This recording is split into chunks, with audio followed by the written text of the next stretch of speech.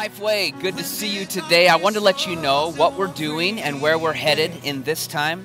First and foremost, I just want to encourage your faith to lay a hold of God's word and to stand strong in this moment. And I want to talk a little bit about that today on how we can do that. But before I do, I want to let you know where we're going as far as Lifeway Church is concerned. We've decided to postpone the Freedom Lesson 12, which is our last one. We're going to postpone that class this Wednesday and the conference all to a later date. And so we don't know when that date is exactly, but we'll definitely have you informed on when that's coming. And also, we are going to go primarily online Sunday mornings um, really just due to the authorities. We want to submit to that and be careful with the groups that we have. And so rather than you coming to us, we're going to come to you with Sunday morning services. And I want to encourage you to take them in because our heartbeat is to try to nourish you with as much word as we can in these times. And it's so important that you let the word get in you and that you hear the word of God. But on that line, I just want to say something. You can find awesome sermons all over the internet, which I think is super cool. That's awesome that we have that opportunity in this hour. But I want to encourage you not just to fill yourself up on sermons in this hour. I got an encouragement for you that I think is going to be very helpful for us because we're encouraged to be physically distanced, but I don't want to be socially distanced. I think it's important that we don't just take in sermons from all over the internet and just hear a bunch of word, but that we pick up the phone and call somebody. That we create some small groups and have some fellowship with one another. I encourage you to start a Bible study. Start a little moment of worship or maybe a, a, a, time to get together and pray together. Create some opportunities to build relationships because that's what we need most in this time. And so don't isolate yourself. Call, the, call somebody. Pick up the phone and talk to somebody that you haven't in a while. Build relationships in this moment. And here's why because when you're isolated, the enemy can tell you anything he wants, and you might believe it. And so, my encouragement to you is get around some people that you know are healthy and let them pour into you, and you pour into them as well. That's what I want to see most out of us in this time. Is yeah, we might need a distance physically, but let's stay connected socially because that's where we're going to find our power and the ability to overcome. I want to talk to you a little bit about how to live in the storm. I think preachers love times like this because we get to talk about all the storm scriptures, and you know what they are. We're always going to them, but there is something serious about this moment in the storm that I want to talk to you about today. Matthew 14, 26 is when Jesus sends the disciples out in the boat and they go out, and, and the Bible talks about them struggling with the oars because of the waves and the wind that's pushing against them. And Jesus just shows up on the water.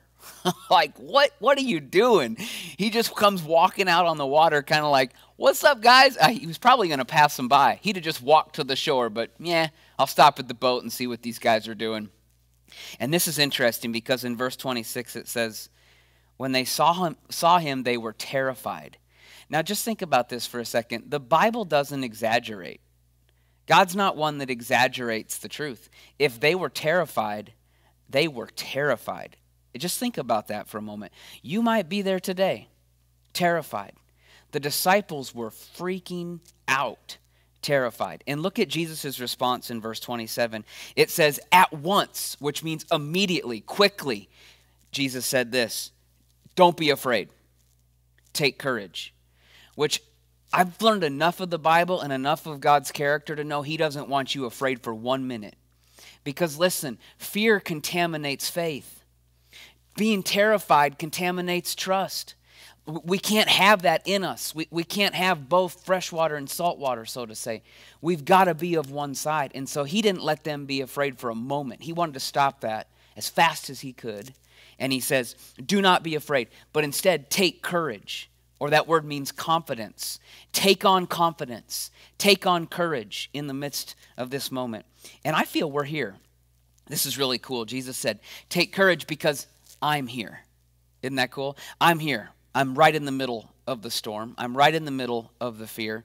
Take courage. And so that's my encouragement to us as well.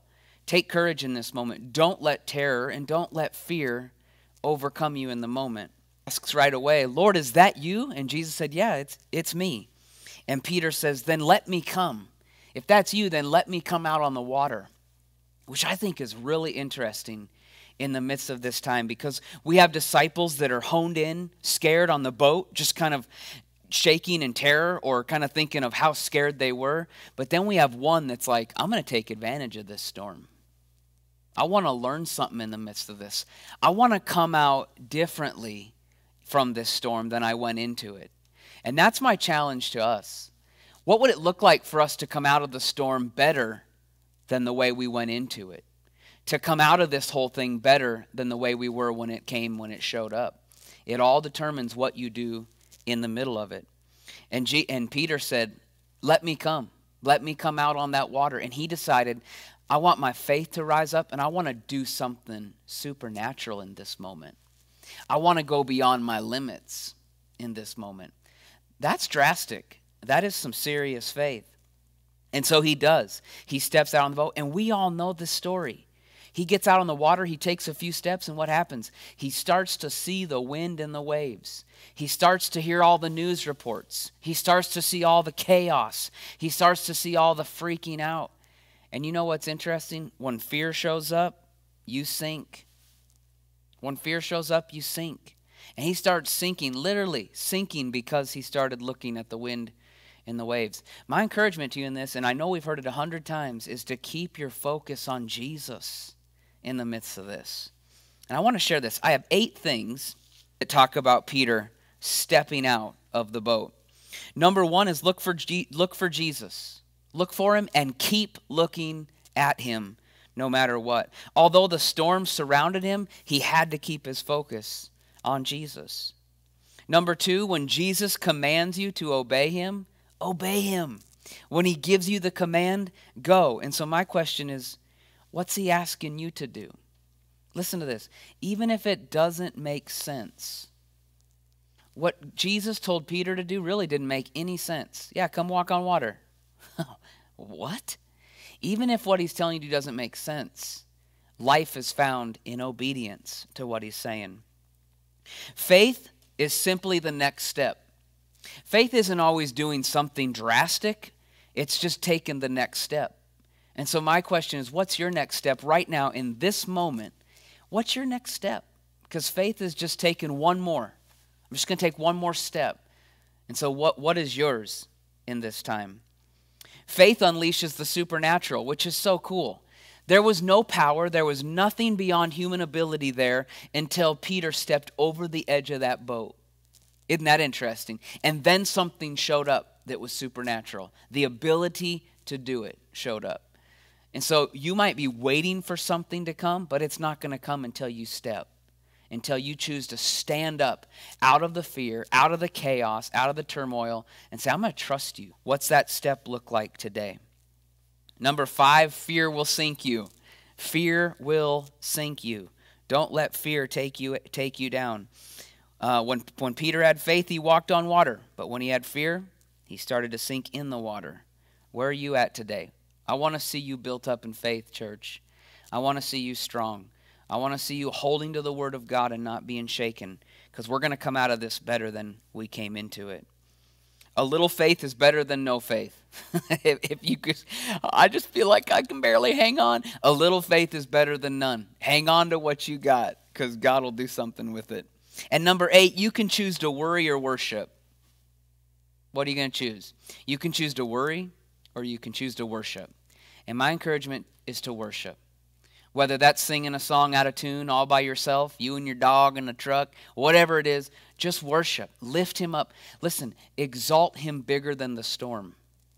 Exalt him bigger than the storm because when you do, you're going to find out he's there and he is bigger than the storm. It's however you place him in your heart. So don't worship worry, worship him. And here's something I want to talk about as well. We've got to fight in the realm we don't see to see freedom in the realms that we see. Like, there's got to be a people who are going to choose to, lock in and say, you know what? I know there's a lot going on on the outside, but I, I'm going to hunker down and fight what I don't see. I'm going to fight in that realm that we've been called to fight in. Now, I know that sounds a little deep and spiritual, but it's true.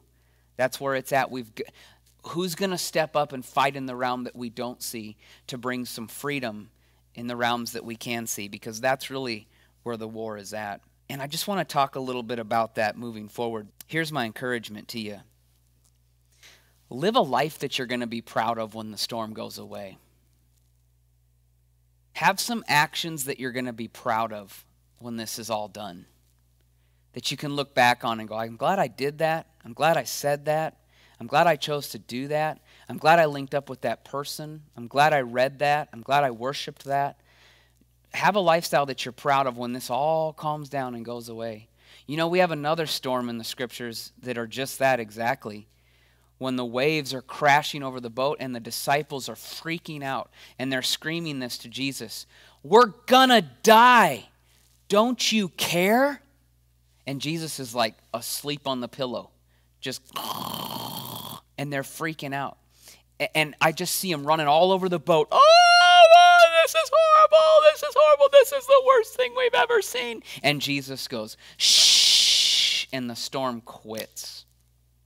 Can you imagine your life in mid rant, mid worry, freaking out, and the storm just stops? You would feel so silly. I would feel so stupid. Right in the middle of your screaming, it's over. I don't want anybody to be in that boat. Live a life that you're going to be proud of when the storm is over. And that's choosing to do stuff in the middle of the storm that doesn't feel real comfortable or might even make sense, but it's done by faith. You know, the scripture actually says this anything done outside of faith is sin. Isn't that interesting? So, whatever you're doing, do it by faith. Do it by faith. Have confidence in your heart that this is what God's told me to do, and, and do it by faith. And here's another thing, which I've just been chewing on this lately live a life bigger than Facebook. Live a life bigger than Facebook. Because we're all closed in, and we know that's the first thing we want to go to is just scrolling, scrolling, scrolling. And in these times where you're isolated, live a life bigger than Facebook. Connect with some people. Get in His Word. Worship Him in His majesty. Lay a hold of God. Focus on your family. Focus on your marriage. Whatever you're at in life, go bigger than just Facebook. It's a great tool. But don't let it be your life. Go bigger than that. Lay a hold of somebody that you can invest into, that you can encourage, that you can impart faith into, because that's what God's called us to do in times like this. That's how you come out of the storm better than you went into it. I want to give you a, a super cool thing that I, I think is going to be very helpful. We're going to open the church up Monday to Thursday from noon to 3, and we're just going to create an environment in the sanctuary of worship, of prayer, We'll have a playlist going, some scripture scrolling, and we just want to open that up to you to come by here and just seek God for a little bit and just pray and press in and fight in the realm we don't see so that we can get freedom in the realms we see. Because there's people here who don't know how to pray, there's people in our city who don't know how to seek God. Let's do it for them. And so we're going to open up the sanctuary and just encourage you stop by, seek God, pray a little bit, and fight that battle. And here's one more thing in the midst of fighting. When you think about spiritual warfare, the weapon that we've been given in warfare is a sword. It's a sword, which means you got to get close to the storm to beat it. It's a sword. You got to walk up. You got to get right in the midst of it, close enough to hit it with a sword. And I think sometimes we want to sit back with a gun or some other rocket launcher and think we can fight this spiritual thing from far, far away. Like, I'm just going to stay way out here and fight it. And we, we, it's not how it works. You got to get right up in the face of that thing. God's called his people to step right up in the face of it, to get right in the of the, midst of the storm and swing their sword, if you will, get right up in the enemy's face and say, I ain't running from you. I'm going to get close enough to hit you with my sword. We've been given a sword, not a gun.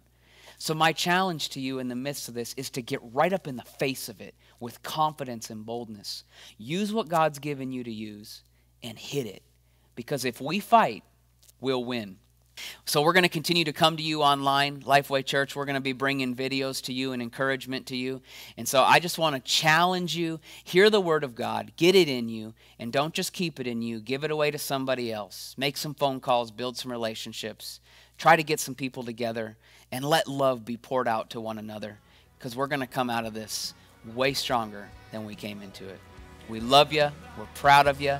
Our doors are open, our telephone lines open, so if you have any need or hear of anything, let us know because we want to help people in this time, not just ourselves. Have an awesome day in Jesus' name.